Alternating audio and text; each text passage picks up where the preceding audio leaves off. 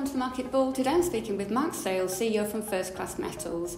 Mark, thank you for joining us. And with so much going on across the portfolio, you must be excited about attending PDAC.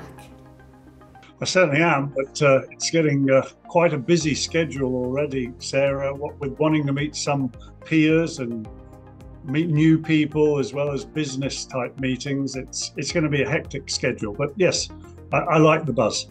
Thank you. Can you tell us about your latest update from the Schreiber Hemlo projects? Certainly, we've just uh, released um, an update, an operational update on the McKellar and Magical claim blocks.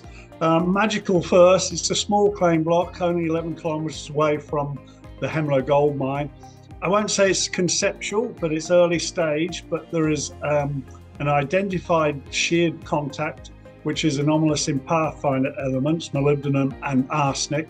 Uh, and along strike following that contact off our property is uh, reported 16 gram valley float sample and also to the southwest other gold occurrences. So we're quite excited about that, extremely early stage, but it's got all the ingredients for shall we say, a Hemlo style deposit in that it's got molybdenum, it's gold along the contact, it's a con- it is a contact and it's sheared. So, yes, we're, we're looking forward to do further work on Magical.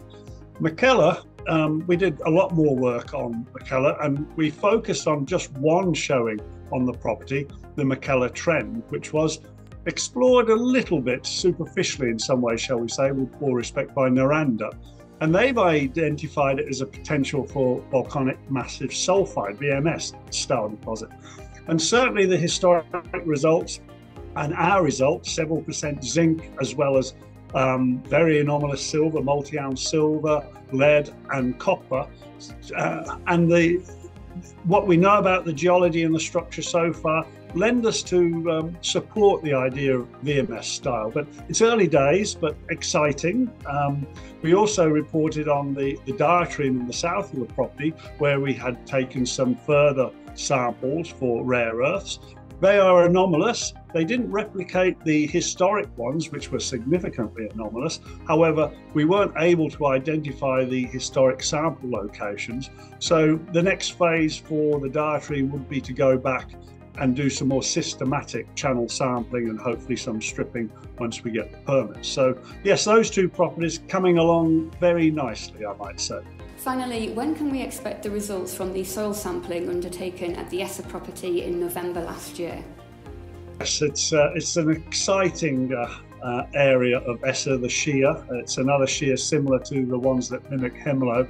Um, we've got almost all of the results in, so um, as I've said, watch this space, news coming soon. Thank you. And with spring just around the corner, you must be gearing up for another field season in Canada, and we'll certainly be looking forward to more updates. Marc Sale, thank you for joining us. Thank you, Sarah. Take care.